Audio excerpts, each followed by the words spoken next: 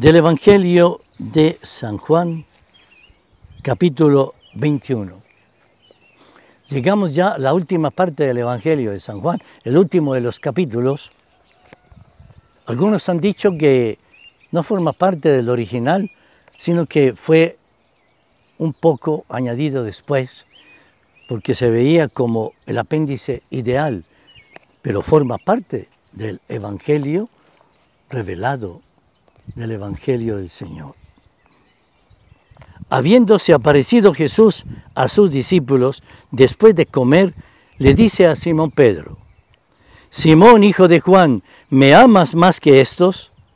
Él le contestó, sí, Señor, tú sabes que te quiero. Jesús le dice, apacienta mis corderos.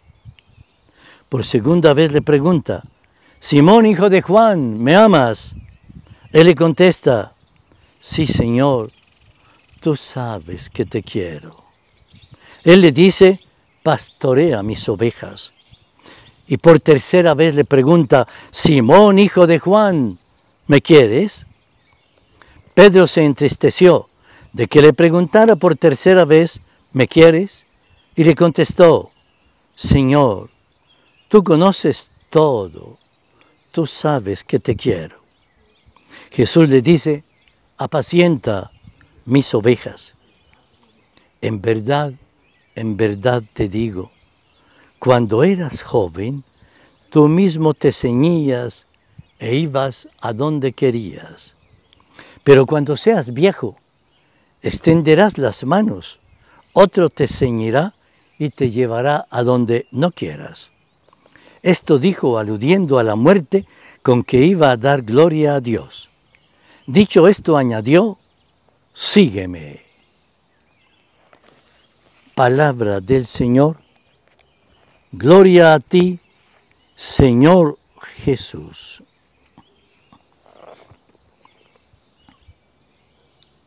Hay una pregunta que nos hacemos con frecuencia, casi todos los días. ¿Por qué fracasan los matrimonios? ¿Por qué se dañan las parejas? Si en un momento dado se dicen que se aman, y realmente se expresan todo el amor, pero después de que se casan, ya a los dos, tres, diez años ya dicen adiós, el uno va por un lado, el otro por el otro, los niños quedan como sin saber dónde mirar, para dónde ir, y se destroza un hogar. Porque muchos de nosotros, los curas, después de algunos años, algunos dicen, me voy, no sigo, opto por otro camino, me voy. ¿Por qué todo ello?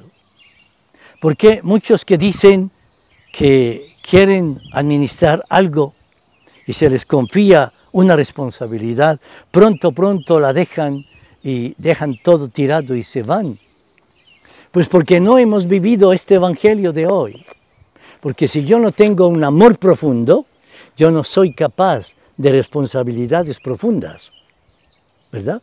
Si yo solo estoy pegado creyendo en títulos, en placeres, todos pasajeros, en momentos de gloria, pues lógicamente cuando ya no está ni la gloria, ni están los éxitos, ni está la salud, pues yo entonces me derrumbo, dejo todo y me voy.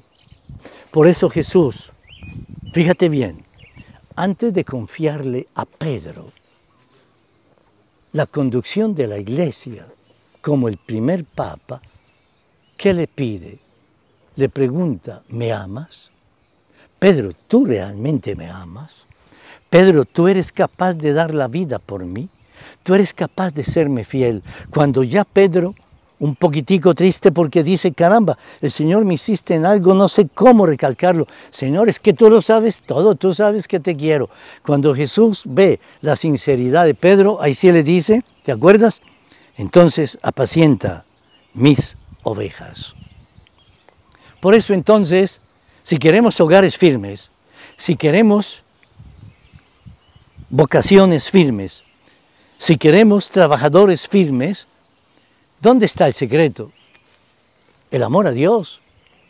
Porque amando a Dios, yo sé que mi vida es una misión y es cumplir la voluntad de Dios haciendo el bien. así de sencillo, y que yo soy feliz siguiendo ese camino, porque no se trata entonces de, entre comillas, aguantar, ¿verdad? Como la mulita aguanta la carga, pero resoplando porque ya quiere dejarla. Nosotros, aunque nos pese, vamos adelante. Nos pese, digo, nos parezca pesado. Seguimos porque con la gracia de Dios todo lo podemos.